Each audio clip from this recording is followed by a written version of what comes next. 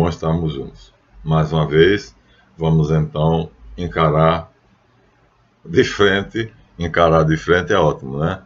Mas vamos ver a questão da vida após a morte. No vídeo 1, fizemos a introdução mostrando a misórdia, a confusão, né? Do que fizeram da transmigração das almas. É, misturando com a reencarnação, com, com é, a todo tipo de, de ideia de, de, de, de voodoo, ou seja, do que for.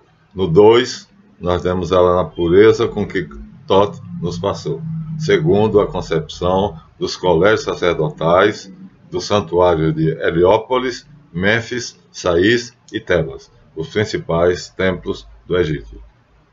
Então aqui nós vamos enfocar mais o espiritismo, principalmente reencarnacionista, porque muita gente acha que há muita similitude.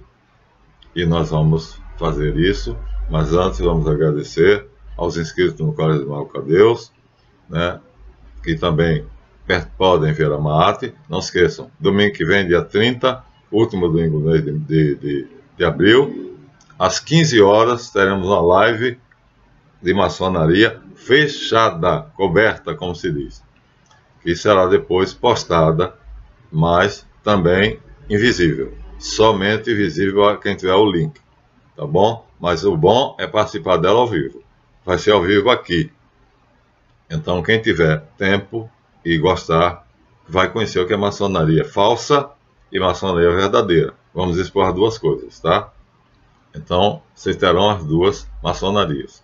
Aqui não presta, para jogar na lata do lixo, aprender e depois jogar na lata do lixo.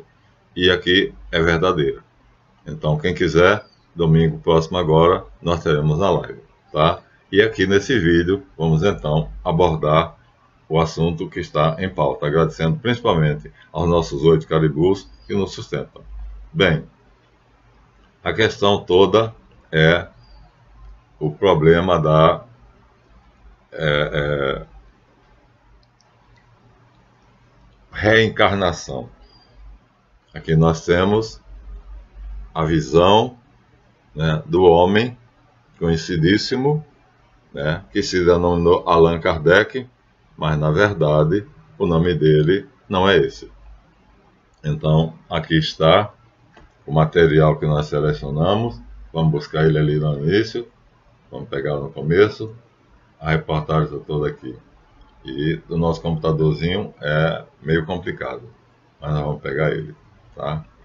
Então, Vamos começar delimitando os grupos que subscrevem essa afirmação. Eu vou pegar ali duas coisas, tá? Já já. Primeiro de que tudo, né, a subsistência da alma depois da morte. Os cristãos, todos, católicos do Oriente, católicos do Ocidente, é, evangélicos, né, todos aqueles que são cristãos, de qualquer denominação, acreditam que a vida é depois da morte. Depois deles, os devotos que processam a fé dos terreiros, portanto, afrodescendentes ou aqueles que já se criaram aqui no Brasil, porque já existem babalaorixás, pai de santos, completamente brancos. Né? Isso eu fiquei meio escandalizado quando eu vi, mas aí o, o personagem que aparece, né, é muito famoso, então não é nada de, de, de se estranhar, porque W.W. Amate Silva fez um estudo completo, né, o diretor do Museu de Paris, que deixou a França para se radicar na Bahia, para estudar o candomblé, e foi iniciado, então é uma doutrina fascinante que tem muito a ver com a cabala, né? E muita gente acha que é coisa de gente ignorante. Então, é outro grupo. Então, vamos lá. Os, os cristãos, todos, os devotos de terreiros, não importa qual seja a corrente, os espiritualistas em geral, mesmo que não sigam a denominação, às vezes reunidos em pequenos grupos, ou praticantes do magnetismo ou do mesmerismo. E, finalmente, agora, os espíritas. O espiritismo é uma denominação que foi usurpada pelos cultos de terreiro. E há muitos kardecistas que sentem um ciúme muito grande e ficam indignados, porque esse, o termo espiritismo né, é, reencarnacionista foi criado por Allan Kardec. Então, mas hoje generalizou-se. Então, fulano pertence ao barracão tal, é candomblessista, é espírita. Os, os kardecistas se sentem ofendidos. Mas é o fazer o quê, né? A língua é viva e vox populi, vox dei. Então, de qualquer maneira, Kardec tinha a mesma crença do Papa de Roma. Ele se julgava um bom cristão, viu, gente? É bom que vocês saibam disso. Kardec existiu no século XVIII e todo o esforço dele foi para derrotar, destruir, é, dissipar a corrente de ateísmo dos racionalistas, junto com um personagem também muito conhecido, que é Eliphas Levi.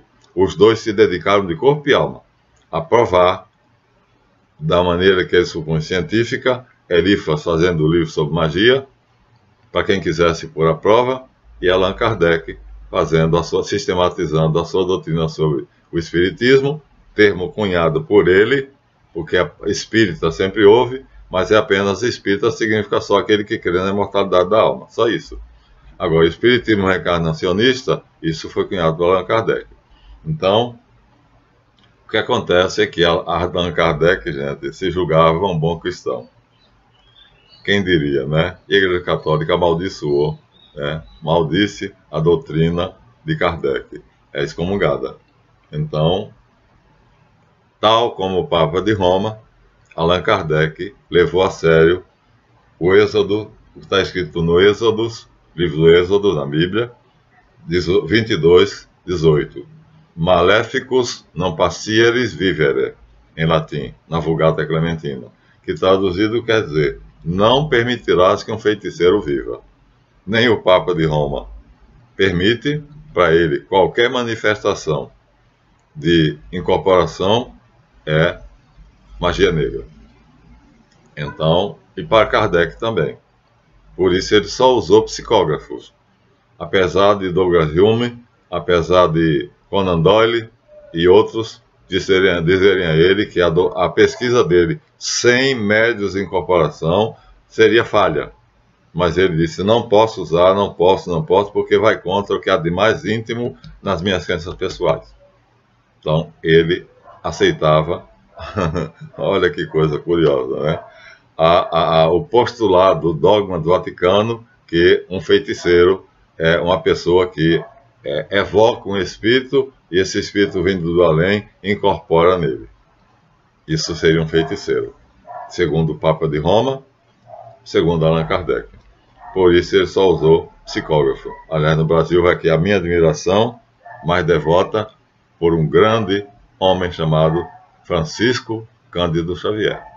Acho que o maior psicógrafo de todos os tempos. Foi até suposto que ele seria proposto para ser Prêmio Nobel da Paz. Uma pessoa incrível. Eu tive um certo contato com ele através de uma pessoa da minha família. Pois bem, quem diria que Kardec, que foi amaldiçoado pelo Vaticano, era se considerava profundamente cristão.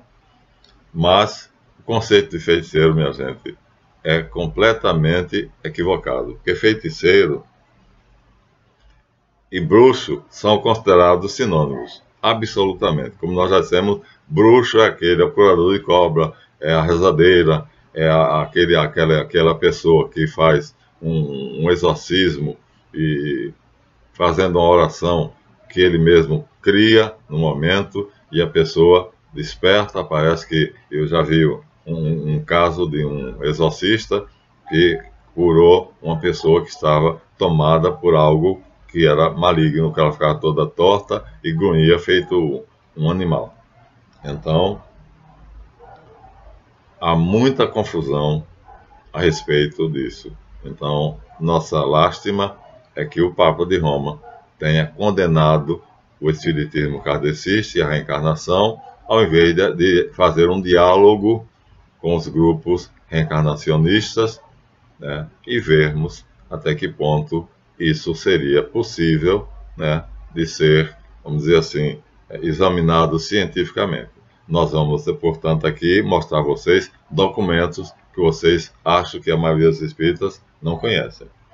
De qualquer maneira, espírita, espiritismo, bruxo não é feiticeiro, é um mago. Aí, sabiam disso? É, o espiritismo é magia, a bruxaria é magia, magia dos campos, magia dos camponeses, e o espiritismo pretende ser uma doutrina filosófica e não uma religião depois tornou-se uma religião. Mas Kardec jamais queria, quis ou pensou que a, a doutrina filosófica dele, né, ele era é, é, cristão, devoto cristão, jamais ele pensou que a doutrina dele substituiria o cristianismo. Ele até escreveu o Evangelho segundo o Espiritismo, que era exatamente para mostrar que o Espiritismo era cristão. Bom, de qualquer maneira, tecnicamente, nós temos os bruxos, que são aqueles que têm dons especiais, paranormais, mas não sabem explicar como tem, apenas usam, não sabem ensinar, porque não sabem o que é, mas sempre usam para o bem. Rezadeiras, é, curadores de cobra e coisas assim. Pessoas que fazem coisas incríveis. Né? É, espinhela caída, dor de dente, é, vai por aí. Nigromantes, esses sim. Esses são os feiticeiros, tá? Aqui é que é, se aplica a palavra feiticeiro, que tecnicamente nos centros espíritas são chamada goecia, ou goécia. Eu prefiro a pronúncia goecia. Praticantes da teurgia, que é vai para um lado ou para outro, tá? A goecia entra na teurgia e a teurgia usa a goecia. Agora, usa os espíritos é, malignos para fazer o bem também. Então, a Goecia tem um domínio tão grande sobre os espíritos que usa eles para o bem ou para o mal, enquanto que a Goecia só usa para o mal. Então, vamos pegar aqui os dois livros. Perdoem, mas eu vou pegar.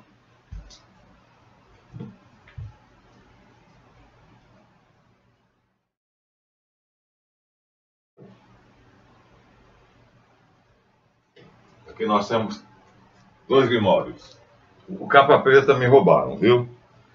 Então só tenho capa de aço. Grimório é esse aqui, gente. Esse é de divulgação. O livro de São Cipriano, nada a ver.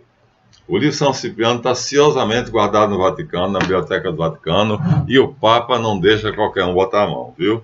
Olha, traz aqui o, homem vitruviano, e aqui né, uma figura impressionante. Um homem com a caveira encostada, quase que fazendo carinho a ela. Tem nada a ver, minha gente. Livro de divulgação é um grimório. Orações e simpatias do maior bruxo de todos os tempos. Bruxo? Não. São Cipriano foi um estudioso dos fenômenos preternaturais. Era isso. E com a permissão do Papa. Então, quem escreveu essa merda aqui não tem a menor ideia do que seja bruxo. Tá vendo? o maior bruxo de todos os tempos. Então, o livro São Cipriano não é de conhecimento geral. Você não tem a menor ideia do que seja, nem eu também. Porque o Papa de Roma, depois que São Cipriano escreveu e entregou ao Papa, ele guardou dentro da Biblioteca Vaticana e pouquíssimas pessoas terão acesso. Aqui nós temos outro livro famoso. Outra merda, As Cavículas de Salomão. Uma bosta. Não percam tempo vendo isso aqui, tá bom? São grimórios, ó. Assinaturas angélicas através das quais Salomão dominava os espíritos e submetia eles à sua vontade. Garatujas infantis que só um idiota vai achar que com esses sinais você vai conseguir dominar os espíritos. Mas a, a teurgia e a goecia usam. Então, é outro grimório famoso. As clavículas de Salomão. E me roubaram o capa preta. Mas eu tenho aqui o capa de aço. Esse é famosíssimo, né? Capa de aço, imagina. É outro grimório. Aqui você tem um, um determinado modo de você se tornar invisível. Quem é editora? Aqui não, não mostra. São Cipriano, o Bruxo, de novo, viu? Deve ser o mesmo autor. quem foi São Cipriano. A editora é Palas, editora e distribuidora. Está aqui a ficha catalográfica. Então, está como o quê? Está como o que, meu Deus? Catalogação na fonte. Sindicato Nacional de Editores. Ué, não diz qual é a, a, Como é que ele é catalogado? CIP, Sindicato Nacional de Editores de Livro. Não diz. Apenas diz Cipriano, Feitiçaria, Livro de Orações, Andrade e Hernani, Palas Editora. Um grimório famosíssimo e temido por muitos. Uma bosta. Pronto. Então desculpem que eu não, não trouxe antes. Então vamos continuar. Então vamos, vamos, saber a diferença. Bruxo é quem nasceu com o dom préternatural, ou seja, um paranormal que não sabe como. Temos dezenas de casos, mas aqui não vai dar, porque o vídeo só vai chegar a 35 minutos. Já acertei isso com o meu técnico, então não vou passar. Então, Cipriano foi um bruxo. Eu não sou um bruxo, porque eu não, não nasci com nenhum dom paranormal. Eu descobri isso aos seis anos de idade. Foi quando eu tive contato com o sobrenatural, ou preternatural, melhor dizendo. Mas a palavra é usada como se fosse sinônimo de mago negro. Nada mais errado. É, um bruxo é uma pessoa boa que nasceu com um dom que ele usa geralmente para o bem. Não conheço nenhum bruxo que use para o mal o seu dom. Então vamos acabar de usar, de usar, parar de usar a palavra bruxo como se fosse mago negro, tá bom? O mago negro é nigromante, nigro, negro, mante, macia, manteia, significa adivinho ou arte da adivinhação ou arte do, do, do, do oculto. Então é nigromantes que são praticantes da goecia, aí vamos ao francês, goécia goecia, prefiro goecia, esses sim, são os magos negros, são os feiticeiros. E que praticam a, a, a dominando, se supostamente é essas bostas aqui, mas o problema é que eles têm a capacidade, eles adquirem a capacidade, porque é, é, minha gente, a ciência, né, o, o magnetismo animal, magnetismo universal existe. E se você conseguir dominá-lo, você vai fazer o que você quiser. Tá? O segredo está no grande agente mágico, ou seja, no magnetismo universal. Aí está o segredo. Tá bom? Então, agora imagina, Lopes de Rojas foi quem me convidou através de uma menina lá que eu pertencer a, a, a Otto, Ordo Temple Orientes, onde eles fazem um ritual sagrado, onde a mulher masturba o homem, depois ele acariciando ela, os dois nus, depois ela recolhe o sêmen dele, e aí os dois repartem, ele chama de sacramento, e comem. Né? Você imagina a, a nojeira que é isso aí. Eu iria participar dessa porcaria? Nem por 115 mil reais por mês me interessei pelo assunto. Lopes de Rojas é herdeiro de, do diabólico é, é Crowley, Aleister Crowley. É ele o herdeiro. Otto, Ordo Temple Orientis. Bom, também usam sangue. Mas aí o candomblessista usa o sangue e não é um mago negro. Eu conheço, tem pessoas que eu conheço do candomblé que são magníficos magos brancos. Então não é o uso do sangue que vai classificar a pessoa como sendo feiticeiro. Usar o sangue não é feitiçaria.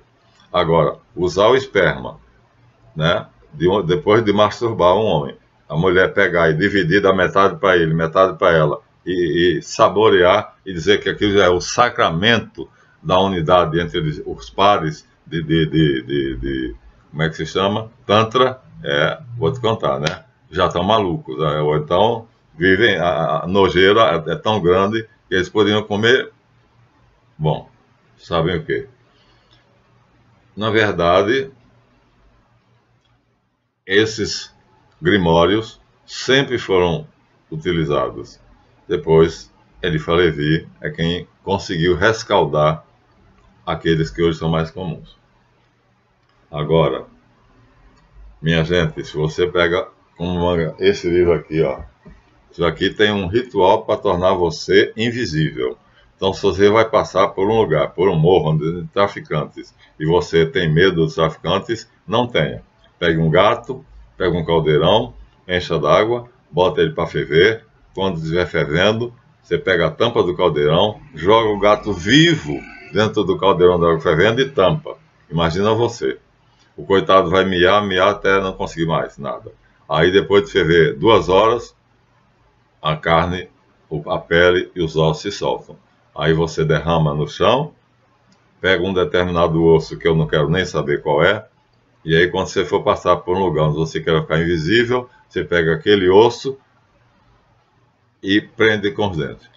Aí você pode passar pela polícia com o carro roubado, que ninguém vai lhe ver. Você pode entrar no morro, atravessar ele, que ninguém vai lhe ver. Gente, uma pessoa que faz isso não é só desumano, é louco. Quem faz um ritual desse para ficar invisível e poder fazer o que quiser, atingiu os parâmetros da loucura. Pois é, isso é igual a esse. Isso é Grimório. Bom, de qualquer maneira, o que vamos nesse vídeo enfocar é os espíritas reencarnacionistas, pois a reencarnação é reiteradamente defendida e acha-se que há uma similitude muito grande entre reencarnação e transmigração. Nossa intenção nesse vídeo é respeitando quem crê num e quem crê no outro. Aliás, eu acho que quem crê na transmigração agora é que crê, porque vocês tinham ela degenerada. Ninguém vai para o vegetal, mineral, animal. Não se regride, nós somos homens. Né? O clipar existe, mas lá ninguém vira animal, nem mineral, nem nada disso, não. São almas humanas. Então, nossa intenção é fazer isso respeitando a sensibilidade política. Ah, meu Deus do céu. Vão ali fazendo propaganda do que vão fazer no Dia das Mães para atrair eleitores. É, é, meu Deus do céu. Então, vamos respeitar aqui a sensibilidade, a fé e a liberdade de crença de, de qualquer um, de todos, que nós citamos. Então, vamos ter muito cuidado para não ferir ninguém. Agora, vamos deixar claro que o homem que sistematizou, o texto aqui é, é de Wikipedia, diz que ele inventou, está aqui, é um cara bonito, né? Usava um bigodinho e usava aqui, eu não sei como é que é o nome desse, não é só o cavanhaque, é todo aqui. Aqui eu não sei o nome dessa coisinha aqui. Então, era um homem de uma altíssima inteligência, né? professor como eu, e a enciclopédia diz que ele inventou a reencarnação. Isso deixava ele furioso, porque aqui é a reportagem é de Edson Veiga, foi feita no dia 30 de setembro de 2022, de Bled, Eslovênia, para o BBC News do Brasil. Está aqui para vocês verem. Está vendo? Então, é um correspondente internacional da BBC Brasil que faz a reportagem. E aqui ele diz que Kardec inventou a reencarnação. da maneira como ele entendia, jamais ele aceitava ter inventado nem a reencarnação, nem o espiritismo, que ele cunhou. Espírita sempre houve, o termo espiritismo não. Então, o nome dele, o pseudônimo Allan Kardec, nasceu em 1804, morreu em 1869 e mandou botar uma lápide no túmulo dele dizendo nascer, viver, morrer e renascer. Está lá até hoje na França, não sei em que cidade. Ele se considerava o codificador, o sistematizador da ideia. A ideia veio, supostamente, de um ser que reencarnou nele. Ou seja, ele seria a reencarnação de um sacerdote druida, ou druida, como vocês querem pronunciar. E jamais ele imaginou que isso fosse uma religião. Ele achava que era uma doutrina filosófica é, e jamais substituiria uma religião, porque ele era cristão.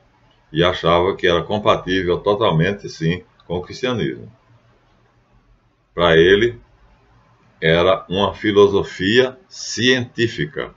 E era isso que ele pretendia provar, porque a Europa do século XVIII, XIX dava extremo valor à ciência e desqualificava, é, é, vamos dizer, pessoas como Newton né, ou Francis Bacon, porque eles faziam, eles, é, é como é que se diz? Oh, meu Deus do céu, é, astrologia, é, é, cabala, estudavam cabala. Então, nesse período, né, havia o ateísmo, criou-se o ateísmo militante, não existia antes, e Augusto Conte, o positivismo, dizia que o homem só pode acreditar no que vê, pega e mede.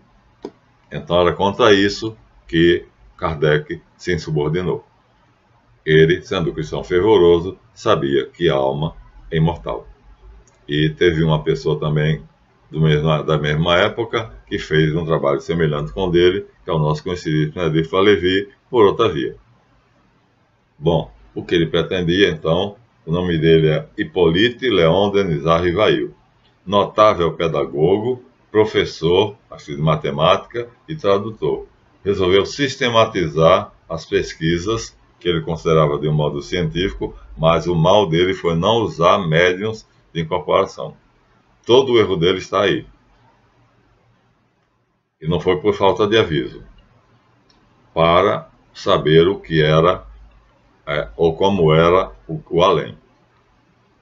Ele escolheu o nome depois da experiência de um suposto espírito que lhe revelou que na vida anterior era um sacerdote druida ou druida né, dos celtas que estavam na região das Galhas, lá perto de Stonehenge. A reencarnação por documentos. Então vamos ver. O termo reencarnação é composto do prefixo re, que quer dizer repetição, mais encarnação, que é habitar um novo corpo carnal. Muitos são os que utilizam como sinônimo os verbetes reencarnação, metempsicose, metensomatose, palingenésia, vida sucessiva, examinação da alma. Não são a mesma coisa. Documento. O órgão oficial da Federação Espírita Brasileira, FEB, o Reformador, no fascículo de setembro de 1953, página 199, documento. Tá aqui, vou mostrar para vocês. O órgão oficial da Federação Espírita do Brasil, FEB, no fascículo de setembro de 1954, traz a seção Graças à FEB, Federação Espírita Brasileira, e seu trabalho de propaganda, 99,99% dos espíritas brasileiros aceitam a doutrina de Kardec, incluída a realidade dos ensinamentos reencarnacionistas, ou seja, Kardec trouxe, eu sou espírita, mas não reencarnacionista. Eu sou, acredito na transmigração, mas respeito quem crê na reencarnação. Com efeito, temos o único grupo espírita no Brasil que não acredita, não aceita a reencarnação. Um grupo organizado de Niterói chamado Jesus no Himalaia. Não sei se ainda existe, porque isso é 1933. Né? Então, aqui, a reportagem atual é, é 2022, mas cita isso, então devem existir. Mas a maioria dos, dos reencarnacionistas admitem que todos os reencarnacionistas têm a doutrina da reencarnação como sua pedra angular, seu edifício doutrinário religioso. O fundamento da doutrina da, do Espiritismo é a reencarnação. Sem ela, que é o princípio básico da filosofia espírita, a importância é tão grande que todo o edifício, toda a sua base filosófica, sem a reencarnação, é, cairia, sucumbiria. Aí a, frase final da, do isso é um documento, viu? Sem a reencarnação estaríamos diante do mais completo vazio. Ou seja, o espiritismo cairia no vazio se abrisse mão da crença na reencarnação. É o que ele está dizendo aqui. Mas, olha aqui em vermelho, ó. Agora nós vamos ver aqui umas novidades, talvez vocês não saibam. Não há unanimidade entre os espíritas é, e o espiritismo. Isso vamos provar através de documentos. Só temos cinco minutos. Uma grande porção do rebanho espírita mundial não admite a reencarnação. Do espiritismo, eu não, não, não, não faço parte da corrente do espiritismo. Eu sou espírita. E ser espírita não é pertencer ao espiritismo. Espiritismo é pertencer à, à corrente criada por Allan Kardec. Essa palavra foi criada por ele. Espírito eu sou porque acredito na existência do espírito. Espiritismo é pertencer à, à, à codificação de Allan Kardec. E eu não acho que ele acertou. Então, uma grande porção do rebanho espírita mundial não admite a reencarnação. Vamos provar isso com documentos. Embora a Federação Espírita Brasileira diga que, se terá a reencarnação do espiritismo kardecista, o edifício cai. É a pedra angular né, é a coluna que sustenta toda a doutrina do Espiritismo. Mas há uma divisão em dois grandes grupos. Primeiro grupo, os anglo-saxões, ou seja, americanos do norte, canadenses, é, ingleses, alemães, todos os espíritas dessas, desses países negam a reencarnação. E os latinos que fizeram da reencarnação a pedra angular de toda a sua doutrina. Agora, vamos tranquilamente, então, passar para o vídeo seguinte, onde vamos mostrar documentos. Aqui nós mostramos um, que é uma afirmação da FEB, Federação Espírita do Brasil, que diz: se tirar a reencarnação do Espiritismo, tudo desaba, tudo desmorona. É, nós vemos ali, é só voltar o vídeo, você vai ver a data, o fascículo, né? E essa reportagem foi feita por uma correspondente da BBC Brasil, e portanto nós estamos aqui dentro da maior seriedade, como é próprio do nosso canal. Fica o resto então ao, para os vídeos seguintes, tá bom? Vamos mostrar que não há unanimidade entre dois grandes grupos e mesmo é, entre os grupos do espiritismo, por exemplo, o espiritismo é, da, de, é, do, dos, como é que se diz, um, um, uma casa espírita kardecista é, não é, não tem a mesma, as mesmas noções é, do, do Ramatiz né, uma casa que professa a doutrina de Ramatiz não coincide com uma casa que professa o espiritismo kardecista. Então, olha, veja, são é, todas as duas se consideram da corrente chamada espiritismo. Ramatiz, os ramatianos e os kardecistas, mas não concordam. Se você pertence a uma casa cujo dirigente dirige é, é, organiza né, o grupo de acordo com a, a doutrina revelação de Ramatiz, então não há coincidência com o kardecismo. E há dois grandes grupos, os anglo-saxões, que negam a reencarnação, e os latinos, que afirmam que há reencarnação. No próximo vídeo, darei um documento precioso. A quinta é. Como é que chama, meu Deus do céu? O quinto Congresso Internacional Espírita em Madrid, na Espanha. Vou mostrar a vocês, acho que é um documento que muitos espíritas não conhecem. Então, nós começamos o vídeo seguinte com esse documento. Vou mostrar a vocês que nós estamos baseados em documentação. Nosso trabalho é sério.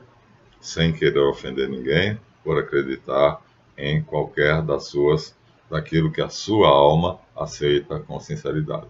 Nos despedimos aqui de vocês esperando que vocês vejam esse vídeo e levem a sério, né? deixem aquelas porcarias dos Grimórios de lado e vão praticar algo que seja lúcido, racional e lógico. Tá bom?